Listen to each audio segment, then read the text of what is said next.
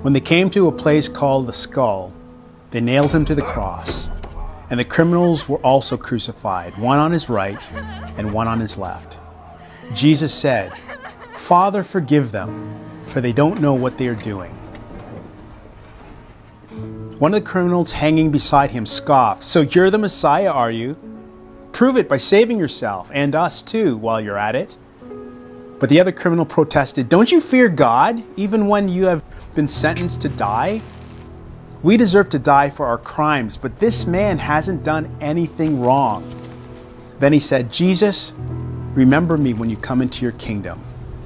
Jesus replied, I assure you, today you will be with me in paradise. By this time it was about noon, and darkness fell across the whole land until three o'clock. Then Jesus shouted, Father, I entrust my spirit into your hands. And with those words, he breathed his last.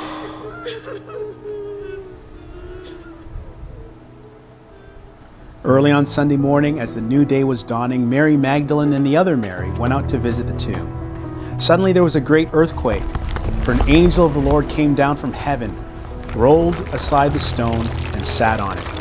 His face shone like lightning, and his clothes was as white as snow. The guards shook with fear when they saw him, and they fell into a dead faint. The angel spoke to the women. Don't be afraid, he said. I know you're looking for Jesus, who's crucified. He isn't here. He's risen from the dead just as he said would happen. And now go quickly and tell his disciples that he has risen from the dead. The women ran quickly from the tomb, and they were very frightened, but also filled with great joy. And they rushed to give the disciples the angel's message. Then the eleven disciples left for Galilee, going to the mountain where Jesus had told them to go. When they saw him, they worshipped him.